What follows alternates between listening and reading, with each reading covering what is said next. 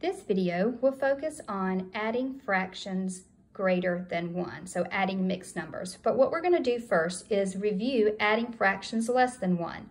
You did this earlier in the year in fourth grade. So if we have uh, 2 fourths plus 3 fourths equals a sum of 5 fourths.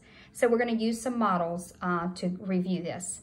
So remember you have your numerator and your denominators. Your denominators are the size of the parts and your numerator are the number of parts.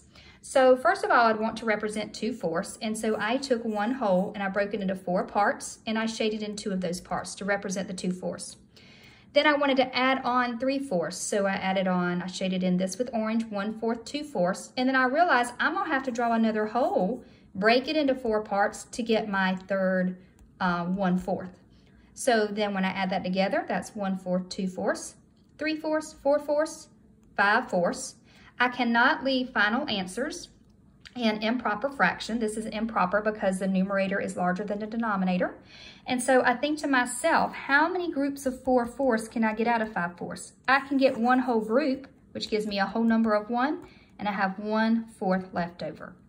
All right, now what we are going to do is we are going to look at adding uh, mixed numbers. So here you can see I have a mixed number plus a fraction. I have a whole number of 1 and I have a fraction of 2 6 plus a fraction of 3 6. Our sum will be 1 and 5 6, and I'm going to show you how I got that.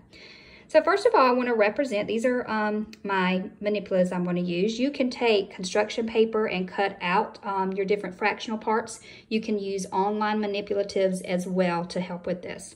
So I have 1 and 2 6. And then remember adding means I'm going to join. So I'm going to add on 3 6. So I'm going to add on 1 6, 2 6, three, six, okay? So when I join those together, I can now see that I have one and five, six. And so my um, sum would be one and five, six.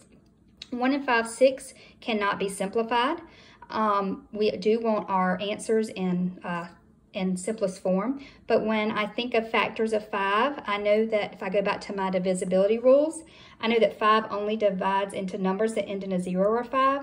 And so that will not work for six. So one and five, six is in simplest form. So let's look at one more model. This time we're gonna use fraction circles. We're gonna add one and two eighths plus one and seven eighths to give us a sum of three and one eighths. Okay, so this time we're adding a mixed number plus a mixed number. So you can see I have one and two eighths.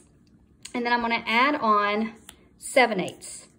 So what I'm gonna do here is add it on my one whole, but I'm gonna go up top here and I'm gonna go ahead and add on my 7 eighths. So that's 1 eighth, 2 eighths, 3 eighths, 4 eighths,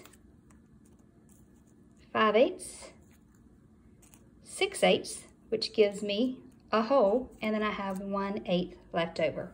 So you can see I have that makes one whole right there. So I have three wholes and one eighth. All right.